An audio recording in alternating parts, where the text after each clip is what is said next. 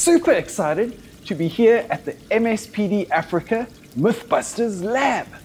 Nick and Casey have spent the weekend building this marvelous contraption for us to test the Aiko underground solar panels and see if they meet up to the propaganda that we've been seeing around the world.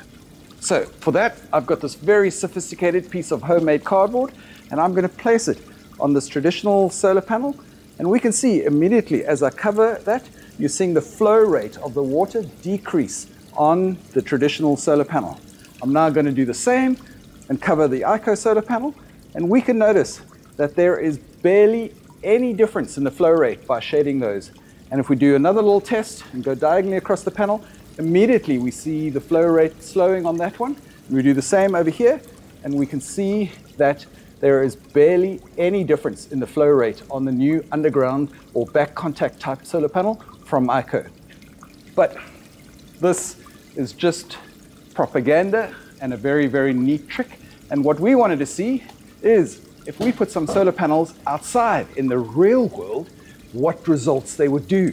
So what we've done is we've taken one of our new magnificent Fox micro inverters that have two MPPTs, MPPT1 and MPP2, where we've taken a traditional 615 watt N-type solar panel and compared it to a 610 from Aiko.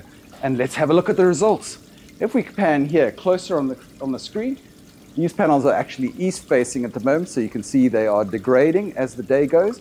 But miraculously, we can see on the Aiko panel, we are producing 610 watts as opposed to the 570.